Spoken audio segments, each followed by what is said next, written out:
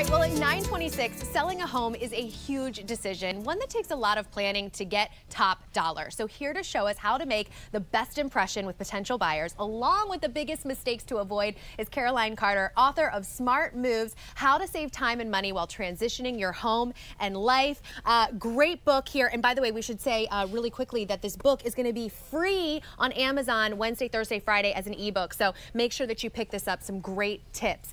Um, moving can be really overwhelming, stressful as well when you're selling your house. What are some of the biggest things that we need to know? Well, one of the biggest things you need to know is that selling your house is actually not about you. It's about the buyer. Yeah. Okay, to that extent, we want to take a cold, hard, non-emotional assessment or non-emotional look at the exterior and interior of the house to make sure that we're designing it to appeal to the largest cross-section of buyers for the property. Okay, that makes so sense. So as an example today, we've brought how to glam up our front door.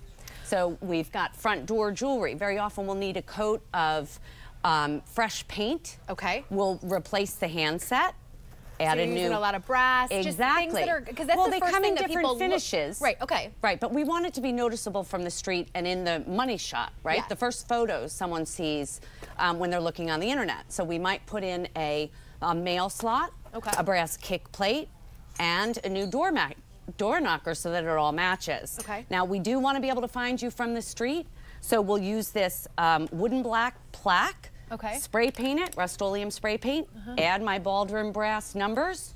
Finish it off with a, a basic Greek key mat. Okay. And don't forget our planters. Right now it's spring. The only thing that's really going to live are our white pansies and green ivy. Okay. We're perfect. done. And that's not going to cost you all that much. And again, it's that first impression first that a buyer impression. is going to I got see. it all at Home Depot for, for less than 300 bucks. All right. Um, next thing that we can do, you said, is a little fresh paint. So, so paint is really critical. It's not about our personal preference.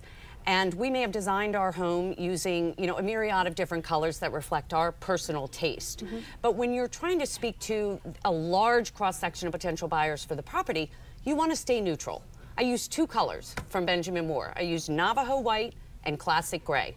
I use two trims, um, white dove for older homes, simply white for newer homes, and ceiling white. It's the best money you'll ever spend. And I feel like especially when you do something lighter, everything kind of looks a little bit bigger, everything looks a little cleaner, and then the buyer can come in and they can kind of start visualizing right. how they want to design it. That's it. exactly right. That's okay. exactly right. Um, I see a lot of, you know, the, the personalized, you know, the trophies and the pictures. Exactly. Do you recommend just taking all of that down? So this is one of the most difficult parts of the total home transition process for yeah. people. It, it is very emotional.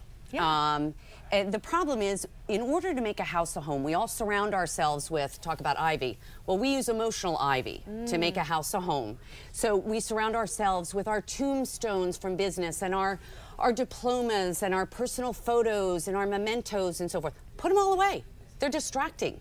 A buyer is very distracted to begin with. Okay. So you really want to focus their attention on what you're selling, and that's the bricks and mortar and not you know, your latest trip to Greece. Yeah, and I didn't realize this. You said that the average house has about 300,000 items in it. And I guess when you're taking all this down, this is a good opportunity for you to kind of pack and organize it as well. That, that's exactly right, Eileen. So, so our process, the total home transition process, does look very uniquely at this move from, from one house to the next. Okay. Insofar as we look at it like one continuous process. Mm -hmm. Instead of selling, and then moving. You're actually staging to sell mm -hmm. and packing to move at the same time.